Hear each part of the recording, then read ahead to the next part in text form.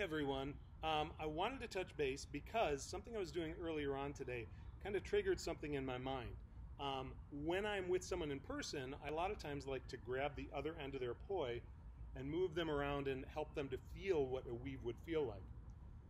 This really works well with the reverse weave um, because you can kind of pause in ways that gravity helps you.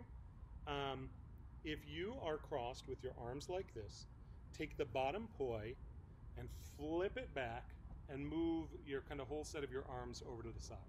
Okay, so I'll rotate like this so you can see how that how that works. So just kind of bring it all over to this side. And then you're going to unwind and wind back up again with a new lower hand. So what was on the bottom is now on the top. And now that new lower hand is going to flip over to the other side.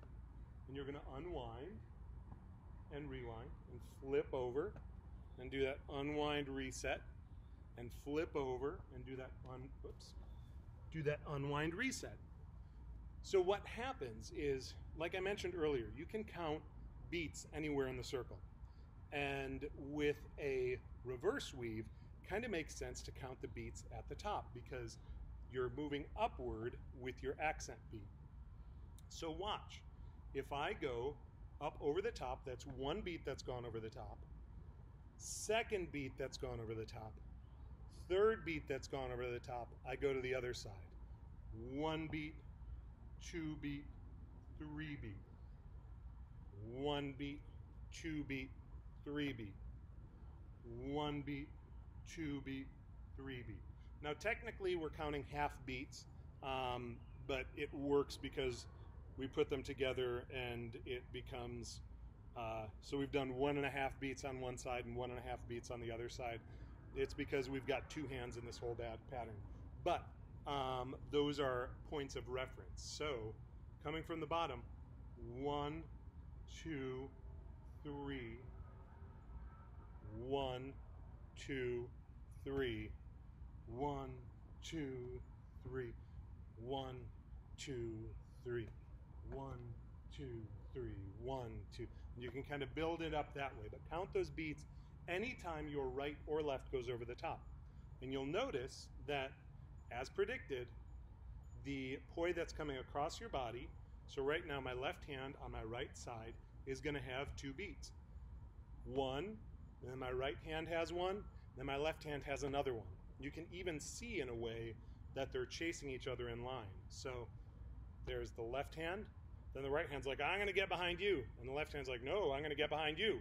And then I'm chasing you over to the other side. I'm going to get behind you. That's that comedy routine of the squirrels chasing each other around the tree. Um, so you can build that up. You can also, it doesn't feel quite as perfect uh, in forward, but if you count going over the bottom, so if I go down, that's one, and then I have to, this is where gravity doesn't really help us. But if this is coming over the top and that comes over the across the bottom, that's two, and that's three counting on the bottom. Then this swings down one, two, three, and a similar thing. It honestly, you'll get the feel doing it in reverse better.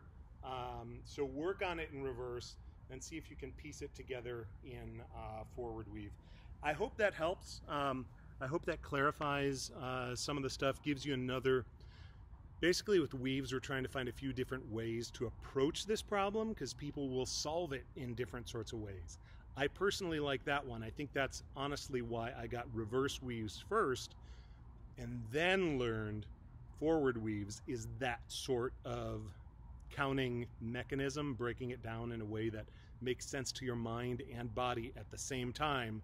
Then your your mind's like, wait, I forgot how that works, but my body knows it, and then you break it down again. And so, anyways, hit me up with any questions. I hope that helps at least somebody.